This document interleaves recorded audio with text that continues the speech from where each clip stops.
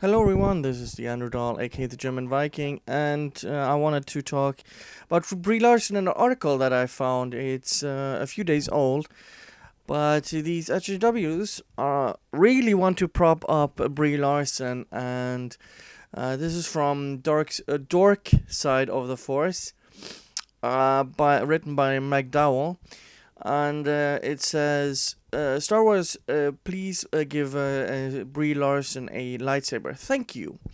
Brie Larson has expressed interest in portraying a Star Wars character in the past. It, is it likely to happen?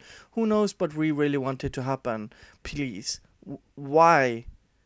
I mean, looking at Star Wars right now, I mean, it's garbage uh, at uh, the, this point in time. Yeah, why would you be a part of Star Wars? Uh, and why would you uh, cast someone like Brie Larson that is an intersectional feminist and is? I mean, maybe it's perfect for Star Wars. I mean, it it, it, it would be a perfect fit because now she has a different platform to shit on uh, audience and men, and uh, has an even bigger uh, megaphone to uh, bash men and tell them how awful we are. Uh, so he, let's uh, let's go dive into this article. We've seen Brie Larson e- uh, exhibit unmatchable cosmic powers as a female superhero extraordinary, Captain Marvel. Yeah, th- that's basically uh, you described a Mary Sue in Captain Marvel. That's what you did. We've also seen her exhibit exceptional acting abilities in films like Room. Uh, I mean that's uh, subjective which gave her the chance to portray human emotion with both skill and ease. Uh, that's just a subjective uh, assertion. Now that she's part of the Marvel Cinematic Universe, she's officially in the Disney circle and could uh, totally make uh, the leap into uh, a universe like Star Wars. She's already been to space, like, not really, but still. Uh, what, type of article is this? Is, is this an. Uh, it sounds like an op ed. Uh, Larson has already admitted she she wouldn't mind joining the Star Wars franchise. Yeah, because of course she wouldn't.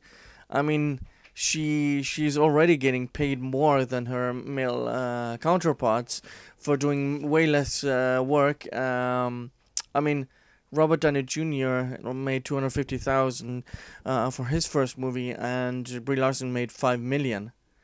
That's twenty times more uh, than what uh, our uh, Robert Downey Jr. got, and uh, it's also ten times more than uh, what Chris Hemsworth got. Larson has already shedding tears over holding um, Samuel L. Jackson's lightsaber proves she has force wielding dreams. I wish I was a Jedi, she said in an interview. Same girl, same. Okay. And hey, she may not have any formal training in any official forms of lightsaber con- uh, combat, but she ha- does have mad uh, beat saber skills, which is basically the same thing, right? Okay, Jesus Christ. You're inserting yourself in this article uh, quite a lot. In addition to her impressive saber skills, the actress is also known for her portrayal of strong female characters on screen and happens to be one in real life. Yeah, so all other women that have been on screen, all other women that have existed in life before her have not been strong. That's quite an assertion. Isn't that kind of sexist? I mean, eh, eh, my god. Isn't Gal Gadot a strong woman? She was actually in the military. And she played Wonder Woman. Jesus freaking Christ. If the sequel trilogy has taught us anything, it's that Star Wars doesn't need uh, um, uh, doesn't need just more strong women. Oh my god. What what it does need is strong writing, not strong female characters. Jesus freaking Christ. I mean, uh, is Rose a strong female character? Uh, are we serious getting those type of characters? Uh, and happens to be one in real life. Why are you repeating yourself?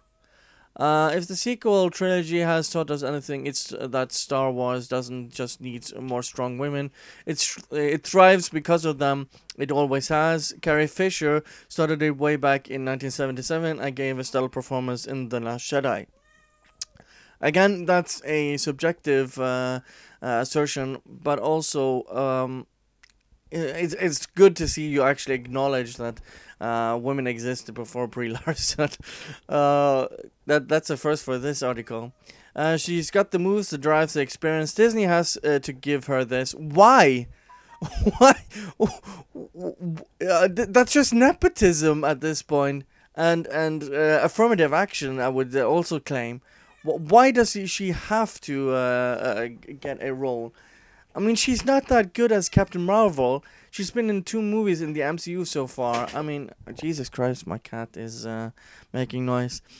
But yeah, I mean, why does she have to get uh, get that role? This is just this is the only industry you can do this where you can advocate for someone getting it. Uh, this is basically shilling.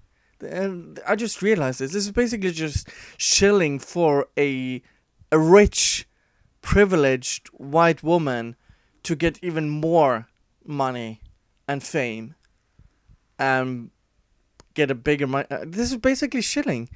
Uh, which Jedi character could Larson take on in a future Star Wars movie or TV show? We haven't met too many uh, female Jedi outside the Clone Wars or prequel films. One has yet to appear in a canon uh, novel who isn't already played by, you know, the irreplaceable Daisy Ridley, and it's highly unlikely Disney will bring back favorite uh, legends like Mara Jade or J- Jaina Solo. Yeah, and why is that? That's because Disney just uh, erased the expanded universe just like that instead of just uh, maybe looking into the expanded universe and say uh, the, there are some continue uh, continuation errors, so uh, we only make some of the books canon. No, they just swapped ev- everything out. but here's what cool, uh, what's cool about Disney Plus and the future of Star Wars thea- theatrical releases. Just about anything that doesn't involve major legends characters is possible. But I mean, didn't you uh, earlier say in uh, in this article, just go to uh, go back on on the previous paragraph as well. Didn't you just say that uh, you you need more uh, more female characters uh, in uh, in Star Wars? Uh, here, if the sequel trilogy has taught us anything, it's that Star Wars just doesn't just need more strong women. It's it thrives because of them. And then you mentioned the prequels and the Clone Wars. So so you said it, it needs more women, but uh, ignore the the ones that have already been in uh, in uh, the canon already. Uh, it, I shake my head. Uh, she could uh, play a, uh, completely new character, giving young girls an okay woman of all ages everywhere. Let's be honest, someone to look up to. Who doesn't want that? Uh, so Leia is not someone you can look up to. Are you serious? What? And Larson's options aren't just limited to live action films or shows either. Voicing a video game character who uses the lightsaber thanks to motion capture tech would still let her do all the lightsaber uh, things. It still counts. Yeah, but you have to talk to EA about that. That's not gonna happen. I mean, you, you, you people bitch and moan about uh, the the white male character in uh, Jedi Fallen Order. So I mean, her chance to become a Jedi is still out there, uh, out there somewhere. Let's hope uh, she keeps fighting for it. Aggressive no- negotiations if ne- necessary until someone says yes.